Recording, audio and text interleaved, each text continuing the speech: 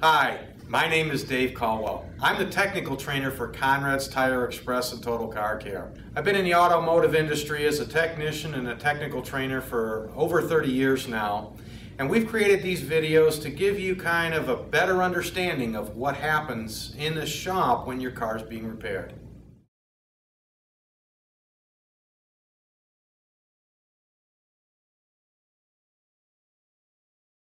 Let's make sense of this 94V. I said it's called a service description. The 94 is what we call load capacity. That's a rating set by the tire manufacturer when they build this tire. That's the maximum amount of weight that this tire can carry at a maximum inflation pressure of around 35 psi. In a 94, the number on that, that tire will carry 1,477 pounds.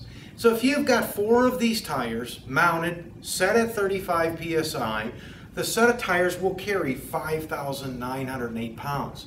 Now, that may sound like a lot of weight, but if your car weighs around 3,000 pounds, if you put five average adults inside there, we're talking close to about a thousand pounds uh, of human beings, and put some stuff in the trunk, um, add some luggage. So we might have another five or 600 pounds inside the trunk. Well, all that added together gives you a total weight on this thing of around 4,600 pounds. The tire is rated above that.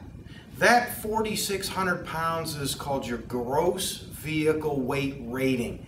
That's the maximum amount that the car should be carrying based on the engine and transmission and brake system. So they give you a little bit of safety leeway. Always, always make sure that you match the load index. It has to be a 94 or a higher number because everything from 94 down is a lower load index. It carries less weight. It's not rated for your vehicle. You can find that service description on the side of the tire, but sometimes the best place is either your door placard on your driver's door, you might find it, also, you will find that information inside your owner's manual. So don't forget about your owner's manual. Got a plethora of information inside there on your vehicle. Let's break out that second half. We're talking about a speed rating. Speed ratings will begin down here as low as B, which is 31 miles per hour. So that's your wheelbarrow, okay? to as high as a Y-rated tire. And a Y-rated tire will do 186 miles per hour.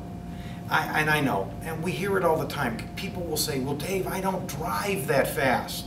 So why do I have to spend all that money on the Y-rated tire? The answer comes down to this. It's not just a speed rating, it's a performance rating. It has to do with the cornering, the stopping, the handling, the maneuverability of your vehicle. It's all built into the tire.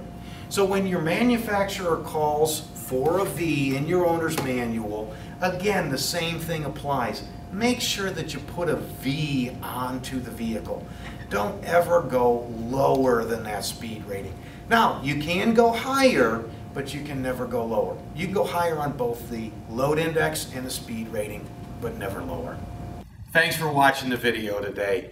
If you have any more questions, visit us at econrads.com or stop into one of our local neighborhood locations. Conrad.